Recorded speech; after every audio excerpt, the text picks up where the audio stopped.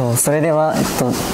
視線言語処理の基礎を題材にした第1回形態層解析について、えっと、自然言語処理研究室 B さんの間が担当させていただきます。まず、えっと、今回の第1回から第4回までの内容についてこちらの「自然言語処理の基礎」という書籍を参考にさせていただきました。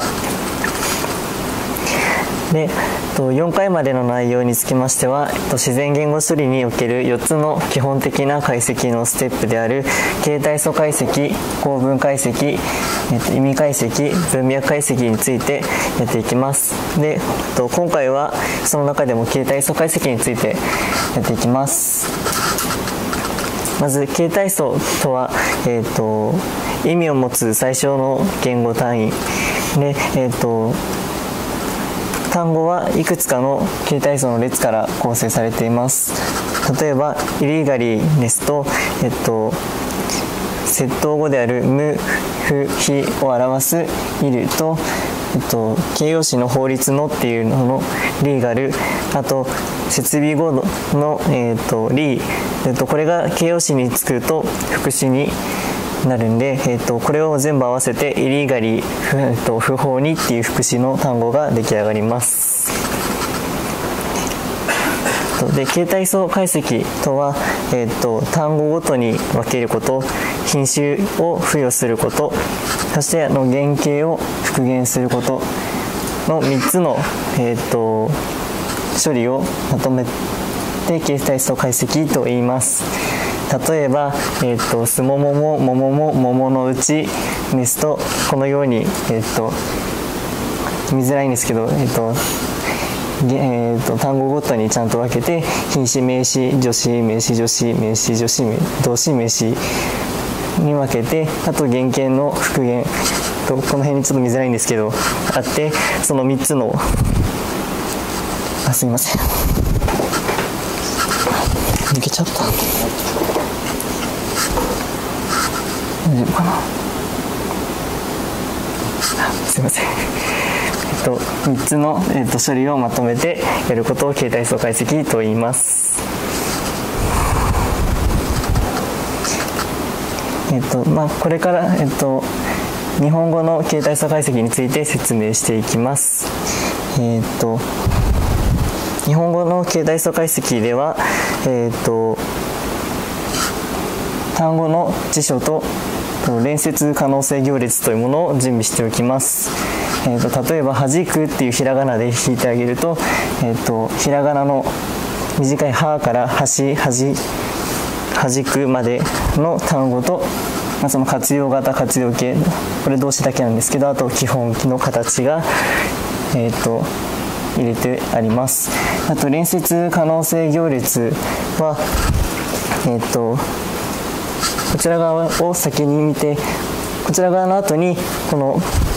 列の方の、えー、と品詞が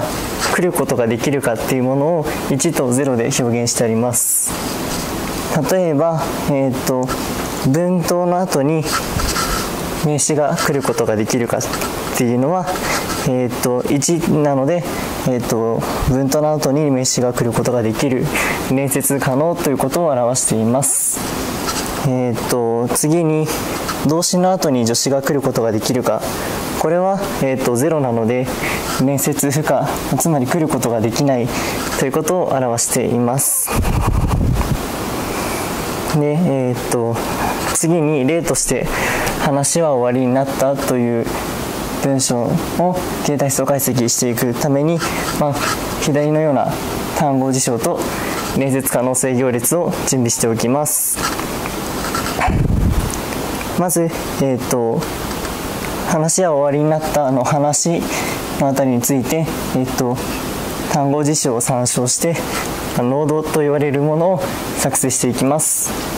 話について単語辞書で検索していくと,、えーと、名詞の話と,、えー、と助詞の「は」っていうものが、えー、と出てくるのでまずそれで、えー、と手当たり次第作成していきます。次に、えーと、連接可能性行列を見て、えーと、連接可能ならリンクでリンクでつなぐんですけど、えーと、例えばこちらのように文頭から助詞に来ることは、えーと、連接可能性行列から0って書いてある。で連接できないので、えーと、このようにもう×ということで排除してしまいます。このように、えー、と最初まず話だけ例でやったんですけどこれを話は終わりになった全部でやっていくとこのような、えーと、図が出来上がります、えーと、これをラティス構造っていうんですけど、えーと、このように見てもらうと分かるんですけど話は終わりになったっていう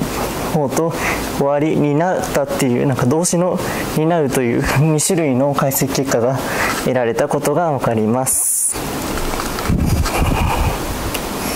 でこの中から最適な答えを見つける手段として、えっと、今までは、えっと、最長位置法や形態素数最小法という2つの、えっと、手法が、えっと、ありました、えっと、最長位置法はできるだけ長い単語の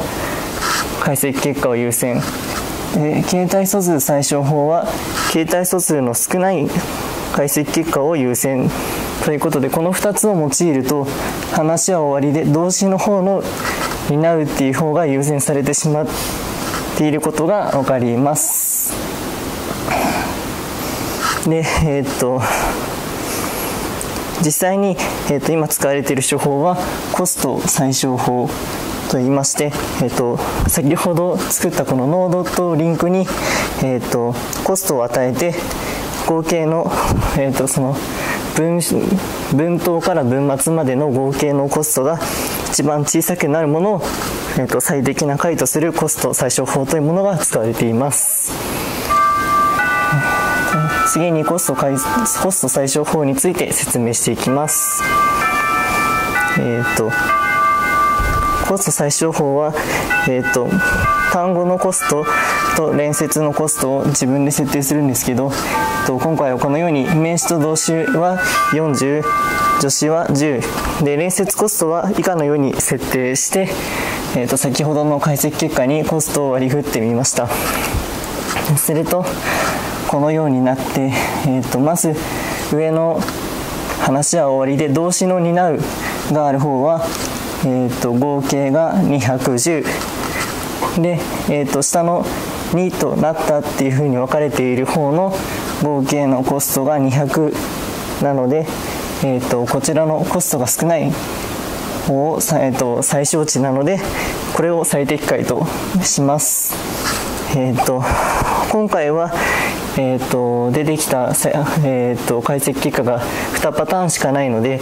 えー、とコスト最小法の計算も簡単なんですけどうんとこれがどんどんすすいませんこれがどんどん、えーと、出てくると,、えーと、何回も計算しなきゃいけないので効率が悪くなってしまいます、えーと、そこで、えー、と各ノードまでの最小コストを記憶しておくビタビアルゴリズムというものが存在します。えー、とこれは、メカブとかでも使われている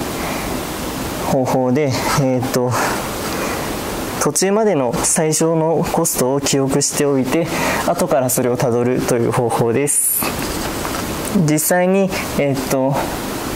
先ほどのコストでそれまでの最小の、えー、とコストを記録し記録しておくとこのように、えー、と赤字で記されたようになります。えっ、と最後の文末まで行った時に、えー、と上の動詞の担うの方ですとえっ、と210なんですが